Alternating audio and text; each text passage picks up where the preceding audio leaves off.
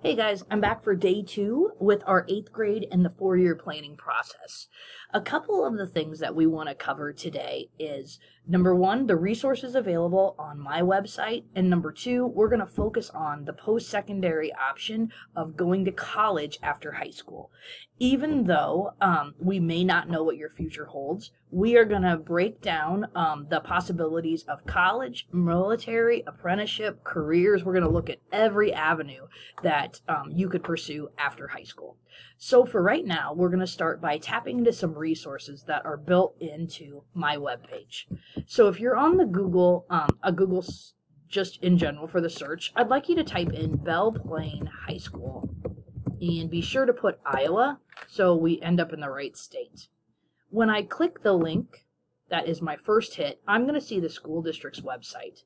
And over here, um, in the fifth column under General Information, you will see Guidance Office. Please click there. You're going to see Guidance Office again, that you click again.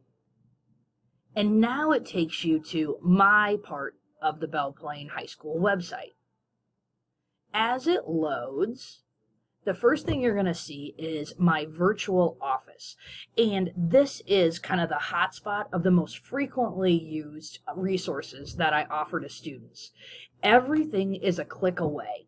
For example, um, if you want to click on the graduation cap, that will take you to the Belle Plaine High School graduation requirements. If you click on the television there with the YouTube symbol, that will take you to my variety of YouTube videos and resources I've made. Up top with the leadership, if I click into there, it's going to show me all the different extracurriculars I can join and consider at Belle Plaine High School.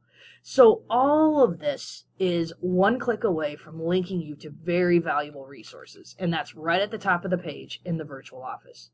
When you scroll down, you're going to see Jack at his six months of age, I believe that was. But anyway, you're just going to see resource after resource built into the website. This goes into more detail down below, and hopefully there's something in there for every grade level, every age, on pretty much every post-secondary topic and current things going on. The last thing I will mention is if you go over to the home, the right button, you then can click the faces of BPHS. This will profile every staff member that works in our building. So it's a real nice way to get to know them, find out about their extracurriculars, like what they are involved in, what classes they teach, gives them a little bit of background information on where their schooling was. So definitely take advantage of that.